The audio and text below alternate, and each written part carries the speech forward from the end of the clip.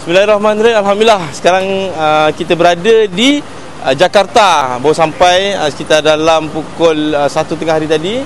Jadi uh, ini adalah zon Jawa 1 Jakarta. Uh, bangunan ada 4 tingkat. Jadi kita boleh melihat kat dalam uh, JHC antara JHC Corner uh, di Indonesia.